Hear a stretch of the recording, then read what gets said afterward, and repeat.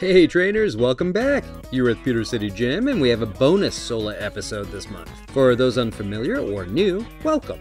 Sola is this channel's ongoing project to create a Fakemon region based on Southern California and some of the surrounding areas. So we have desert, wilderness, desert, wilderness, some goopy little waterways filled with ducks and turtles, suburbs, desert, suburbs, um, creating Fakemon to fill up these biomes has been a passion of mine for almost two years now, and we're getting quite a little Pokedex going at this point with almost 50 species. If any of this sounds like fun to you, please consider dropping a sub, or liking this video, or interacting in the comments. It really helps little channels like this one grow, and it's always appreciated. I do a lot of Let's Play content, but we're focusing on art and design a little bit more for 2023, especially in regards to Fakemon, so that's why we're doing a bonus episode for Easter. Okay, so we are starting out in the lab today because I wanted to show off my do-it-yourself skills. Last episode we didn't have a roof or anything due to a weird random kaiju attack which I knew nothing about till it was happening, I promise. Uh, but between Farid and myself we've been doing a lot of repair work. I think just one more board and we will be finished. I guess it's, uh, it's time for another nature walk. So, in the southwestern US, we have a crazy number of desert bugs.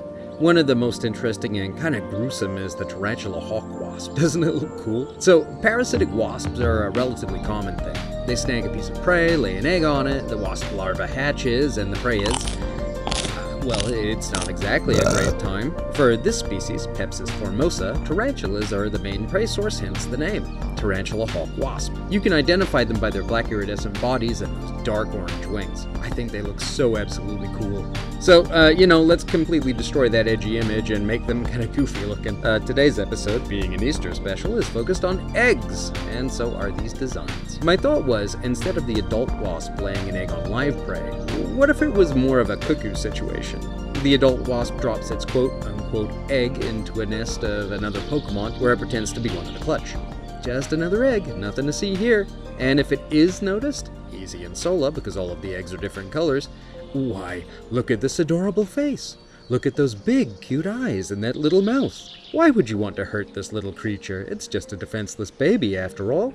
Raise it as one of your own children, why don't you? What are you, some kind of heartless jerk? Of course, as it grows, its demand for food increases and it runs the parents of this clutch completely ragged. But what is parenthood other than sacrifice and the joy that comes with it? I used the egg colors from the eggs in Pokemon Go to color this line. I just thought it would be a cute way to go, including the light green of the egg screen background. And here we have Shamago, the fake egg Pokemon. Shamago aren't eggs, but the larval stage of a parasitic wasp Pokemon. They are deposited in the nests of unwary parents and will live out this stage being catered to by them. While they might look cute, they are secretly devious. Sometimes they get mixed up in a group of Exeggcute by mistake. Here are your stats and moves. Because it's an insect larvae, don't expect anything too terribly powerful at first, but it does have some eggy themed moves going on that make it surprisingly formidable at later levels. The name? Sham and Tamago, which is Japanese for egg. Now, we have two evolutions to get to. Let's look at dad first, shall we? The males of pretty much all species of parasitic wasp are smaller than the females. They eat nectar, don't live quite as long, and are usually a lot less striking in color. That's where this design comes in. It's kind of a small, round, unassuming looking little guy. In fact, he's shocked. Shocked, I tell you, to think that his evolutionary line is responsible for dropping off larvae in the nests of others. Can't you see how shocked he is? Why, look at that face. Of course, it's all a facade. He knows what's going on, he just doesn't have the battle power to back up the deviousness of his lifestyle, so he has to feign surprise. Again, egg colors from Pokemon Go are what I used to color him. Let me know in the comments if you like these color schemes, I'd be really interested to know.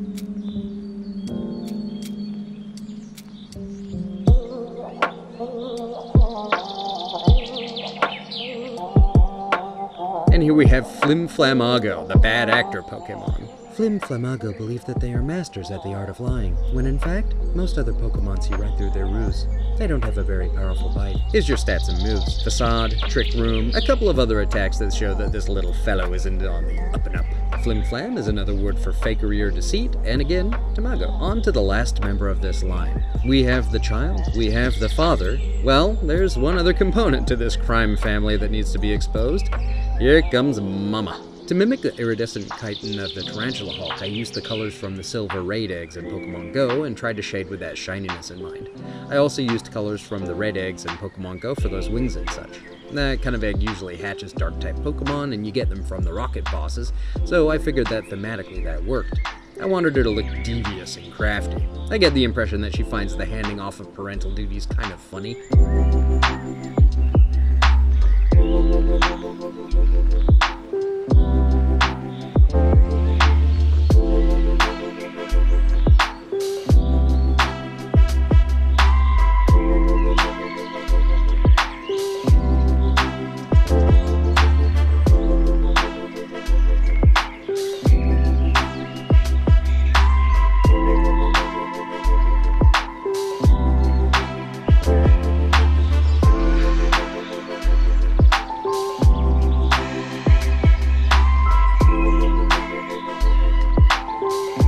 Here we have Beldamago, the absent Pokemon. Beldamago are extremely stealthy Pokemon, able to put their larvae into the nests of other Pokemon without them noticing. They never see that larvae again.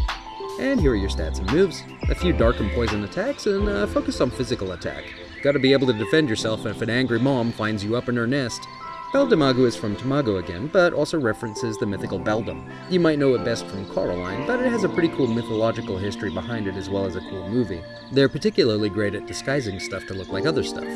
You know, like disguising their kids to look like someone else's eggs. In terms of abilities, you've got Anticipation for Shamago. This alerts it of an opponent as a super effective move. Flim Flamago and Beldamago, who evolve from Shamago with this ability, will get Levitate. This protects them from ground type moves. Hidden ability is Infiltrator for all three. This allows them to attack and disregard barriers like Reflect and Light Screen. And here are your shinies. The colors are based off of the 7 kilometer eggs in Pokemon Go. And the egg for this species? It, uh, hmm, seems like I can't find one to show you. Weird. So, where would you find these guys? You can't find Shimago in the wild at all. You never come across wild nests filled with eggs, which is where they'd be. Flim Flamago and Beldamago would be found wild in the desert wild area. Battle a Beldamago in the wild, and the next time you place the Pokemon that KO'd it in the daycare, the first egg you get won't actually be an egg. That's the only way to obtain Shimago and Sola, apart from breeding Beldamago directly, of course. That's why there's no egg. You just get given a Shimago at level 1. So, with Sola's eggs, they're all different colors. Very Eastery, right? But what if you want the egg to be a surprise? Maybe you're doing egg trades with a friend, or maybe you're being given an egg by a friendly NPC and you'd rather not know what's inside. Well, we have an item for that. It's just a cute little egg basket with some fake grass, a big bow, and some wrapping paper. Not exactly an incubator, but maybe that fake grass is good enough insulation. Who knows? But yes, anytime an NPC gifts you an egg, it would be stuck in one of these. You can purchase them at Pokemarts for use on your own eggs as well. Perfect for gifting eggs to your friends or surprising yourself if you want to put a bunch of different eggs in them and then try mixing them up to hatch a random team. Anyway, that's all I've got for you this time, trainers. Hope you enjoyed the bonus episode. I'm looking forward to catching you on the next one. But till then, take care. Bye!